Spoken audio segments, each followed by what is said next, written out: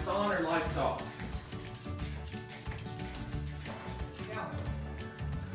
This was a series of paintings that I did uh, in the late 90s. These paintings, uh, men in ball gowns or the drag queens, uh, were done 20 years ago. Kind of like way before anything happened. The world became a different place. I started this series of paintings on Mrs. called the Mrs. Lennox series because this guy Ken, dressed up, looks just like, um, oh, what's her name? Annie Lennox's mother from the Eurythmics. And so I'm convinced this is what Annie Lennox's mother looks like.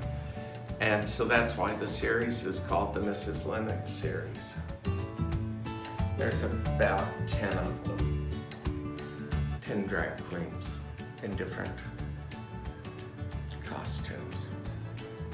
I'm just gonna let you talk. Yeah, but I'm just gonna talk. What do you want me to talk about? Your life. Well, I mean, you've had a very interesting life. yeah, good and bad, sure. I, it's been interesting. I mean, from someone from Claremore that went to New York City, that you have all your paintings all over the world. I was lucky. Simple as that. And I work hard.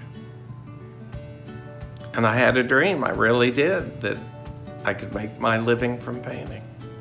But you knew this at a young age. Well, I sold my first painting when I was 12. 12.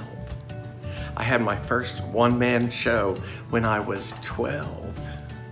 My dad had built a building, had a strip shopping center he had built, and the very last apart, uh, very last space in it was a uh, an office, and I said, "Can I have this office for two weeks to have an art show?" And he said, Well, yeah, sure. So I had an art show and I sold my first painting. Now, this would be 1964 for $60. My paintings, perfect. So here we are 50 years later and 53 years later, and I'm. Uh,